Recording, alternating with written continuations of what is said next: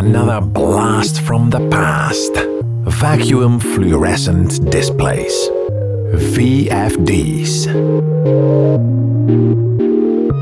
Remember when I said light blue VFD displays? No? Oh, anyway, I was wrong. Most VFDs on old stereo sets are actually white. But we in the Netherlands like warm light. So if we turn the lights on, the display looks blue. Most of the hi-fi came from Japan back then. And I believe at least back then in Japan they lit the rooms with cool white light. And that might be the reason I've never seen a warm white VFD. And warm white doesn't look very modern, of course. They did make displays in other colors, but not warm white. Despite this variety of colors, all these displays really have the same color. Here's a cassette deck with a broken VFD. At first glance, it doesn't make any sense that a part of the display glows pink. When we take a closer look, we see that this light is coming from a broken string.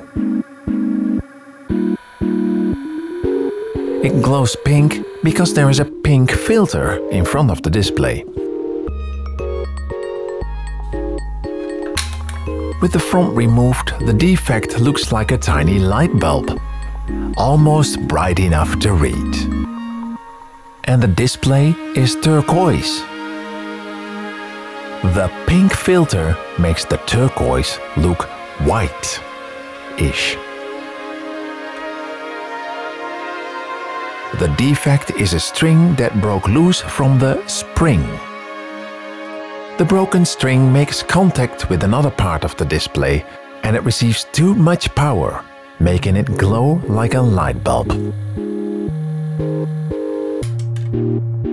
The strings need the springs because the strings stretch and the springs fetch the stretch of the strings.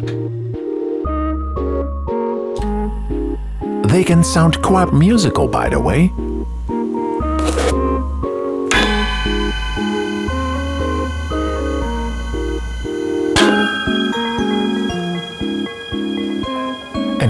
when power is applied to these strings, they send out electrons.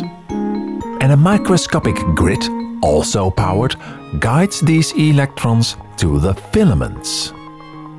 And when a filament is also powered, the resulting flow of electrons light up the fluorescent phosphor on the filament.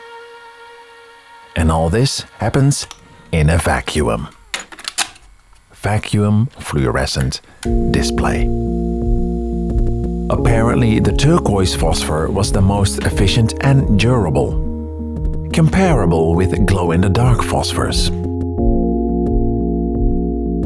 Presumably that's why they chose turquoise with a color filter. The VFD of this late 90s Technics set looks different.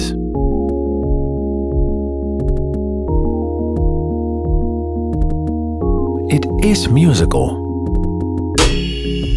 so the strings must be behind the phosphor. And you can see the pattern of the grid in the light. So it's a reversed design. They missed out on making the display truly blue like the LED lights. Instead, there's some kind of compromise filter.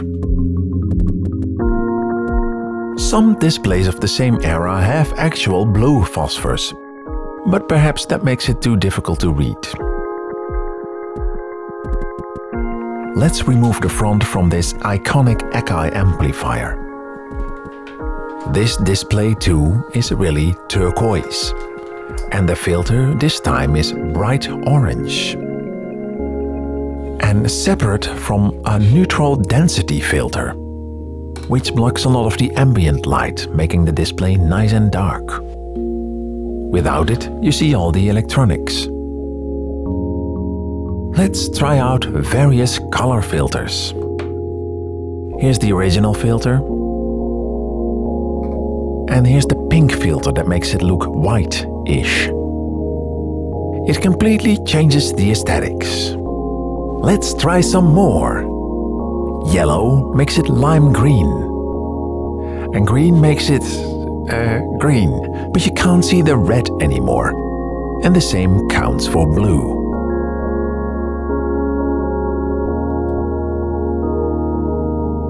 Purple contains red, so now we can see the red phosphor again. Actually, even red works for the turquoise, but very dark. I happen to have some redundant components. So let's see if I can change the color of this Kenwood equalizer.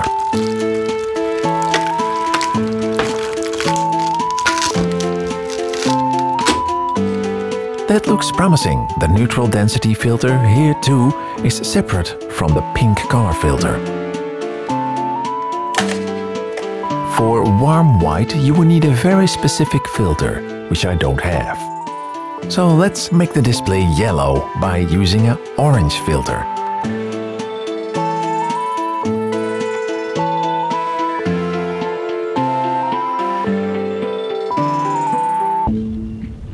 It worked. If I had used my brain and first tested it before assembling, I would have used two layers of the filter to give it a nice golden glow.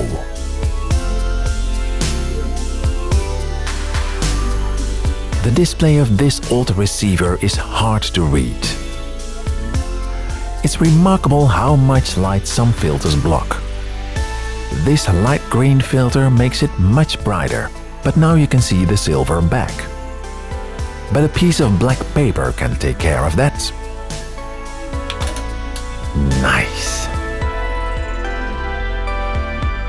Time for a macro intermezzo with various devices.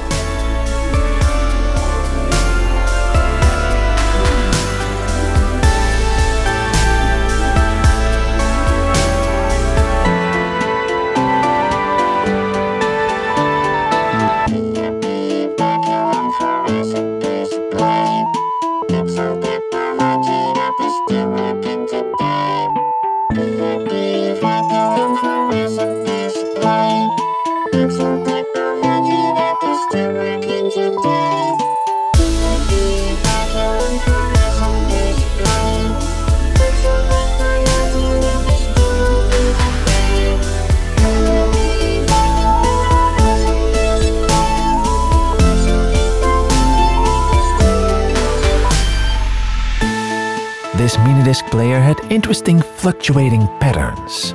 So let's do one of my favorite things and get even closer.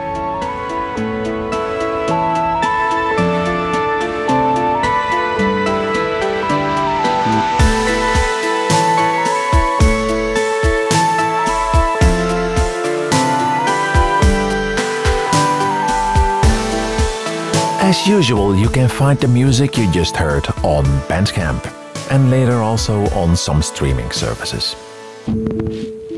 That's it for today. Thanks for watching and I hope to see you soon on this channel about everything and nothing. And if you're really bored, perhaps I'll also see you on my second lazy channel.